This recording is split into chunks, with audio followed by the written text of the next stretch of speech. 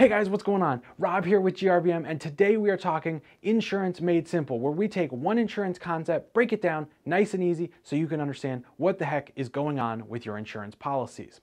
And today we are talking about New York State paid family leave, often abbreviated PFL. Now, PFL, what is it? Why do you need it? Do you need it?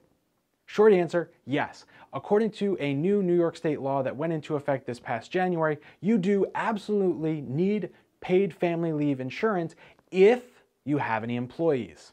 Now, generally speaking, it is included on your New York State disability policy, which is another one that's fairly inexpensive, but it is required if you have workers. But at the end of the day, the paid family leave provides insurance so that you don't have to pay those family leave expenses or salary out of pocket yourself. Instead, the insurance company actually picks up that cost. That's all I got for you guys. Thanks for tuning in. If you have any more questions about paid family leave, feel free to reach out. All right, guys, peace.